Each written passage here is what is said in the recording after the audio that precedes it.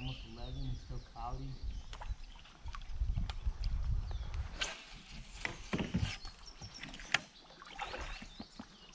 Alright, I think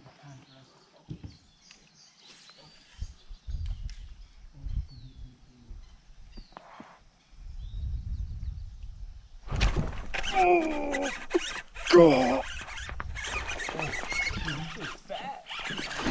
oh, it's us to focus. What is up guys, Manny B here with the Skinny Water Boyz. Today I got a little treat for y'all guys. I'm gonna be trying to show y'all how I throw the working class zero citizen, seven inch one on the river and how I work it, how it's supposed to look kind of how I think it looks supposed to look in the river. And if you wanna know how to rig it, I'm gonna link uh, Mike Gilbert's channel below with a video link to it. He shows perfect, he's the one who makes the bait. So I don't wanna take any credit for this bait or anything like that. It's an awesome bait, all around bait. So make sure to check it out guys. And then yeah, let's get on some fish. Hopefully, well, let's hope. Get on some fish, or I'm just gonna show y'all how to use it, or how I use it. So hopefully it helps you out. Let me know in the comments below if how you use it, or how where you like to throw it, and where you think it works best. But see y'all in a little bit. All right, guys, I totally forgot to show you.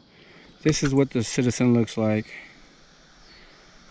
Very, very soft. Look at that that's the type of uh, you know play you want in your paddle tail swim baits this is the gray pearl boom. These two check out your forage. Make sure you're matching the hatch. So if you don't have any of these guys gray ones but you have purple ones get the purple. There's gold ones as well. Check them out. And then make sure as you can see see how there's a lot of, there's some space under here? That's a 10 aught owner beast with a half ounce belly weight. This is probably like an 8 aught seems like.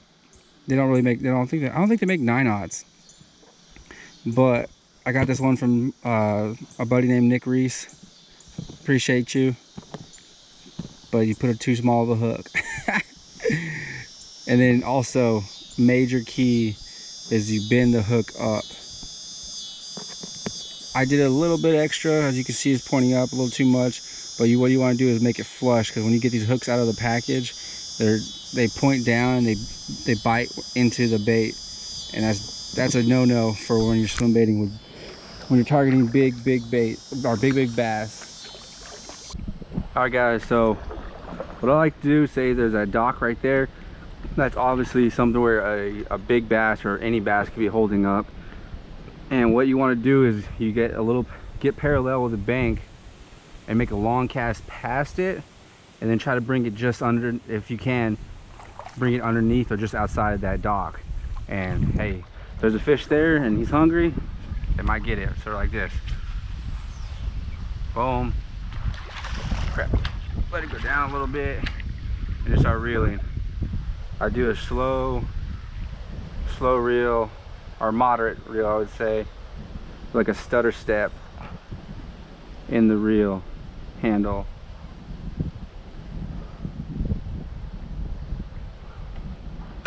And this wind in the it's a lot harder to fish swim baits in a kayak with the wind.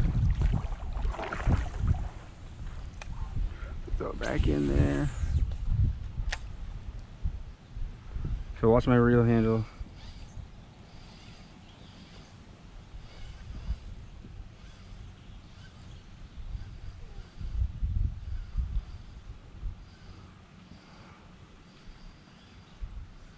There we go.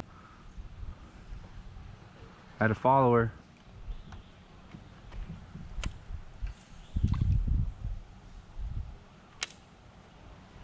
They're definitely interested in the bait.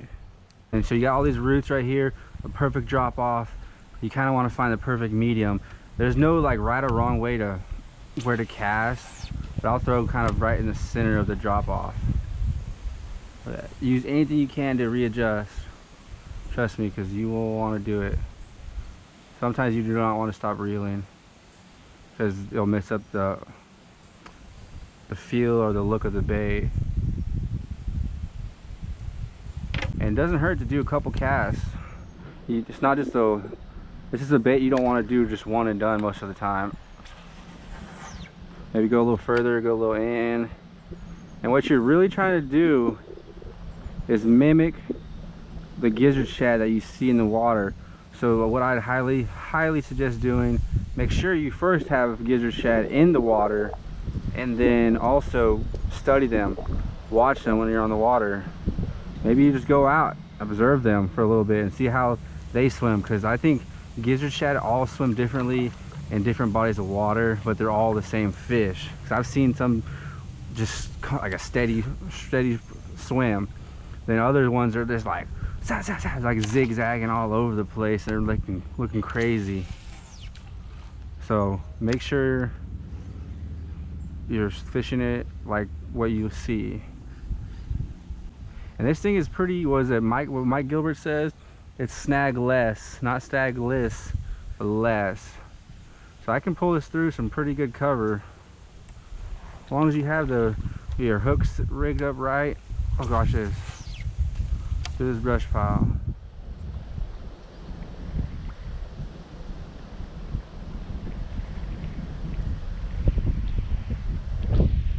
And sometimes you want to just be real erotic with it.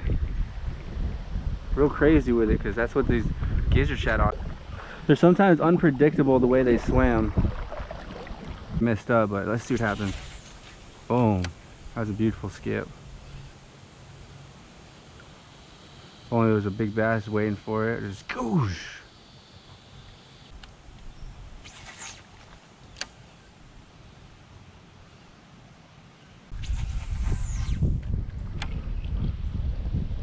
So, and then swim baiting, all about angles. Strategic casting is major key. Ooh.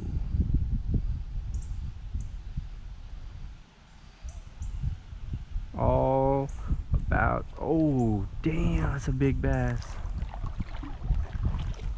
See? That was a good one. Came out from under there. Saw me. Just did. The wind's blowing me forward, which you don't want. You always want to get your position because you'll blow up a spot if you don't position your kayak. They do it the same thing in boats where they get the position. It's kind of like those uh, those deals where you're in school and you're like, when am I ever going to use this? It's honestly, I the way I looked at it was, it's critical thinking and how you're going to figure out that problem.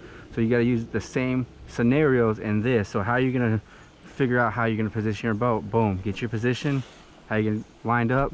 You're going to throw over those lily pads to the right, close to that brush pile.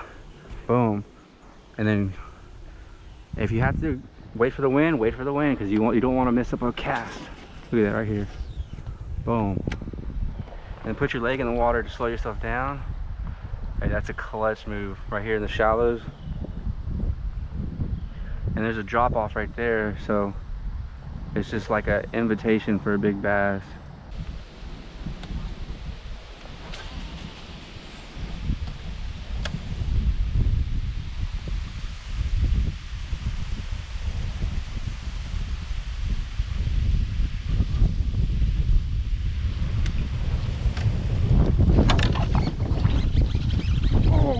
Oh him. Oh, gosh darn it. That was a freaking tank.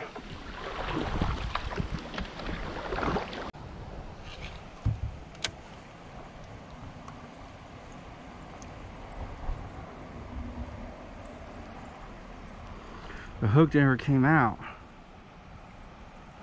Get back in there, might be another one. I was doing pretty much what I was saying, throwing past the cover, and the current was pushing against that big old pillar, and then I let the current take it and just smack the, the, the pillar, and sure enough, that big bass was just hanging out right there waiting for something like that to happen. Boom, she got it.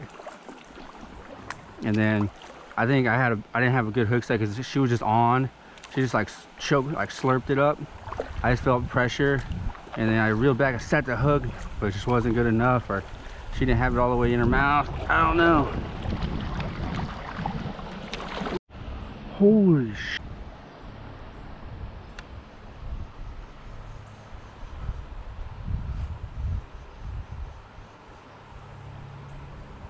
Oh.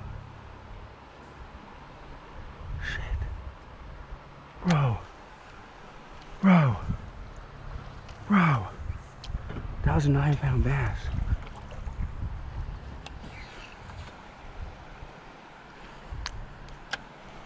Oh my gosh. That was the one.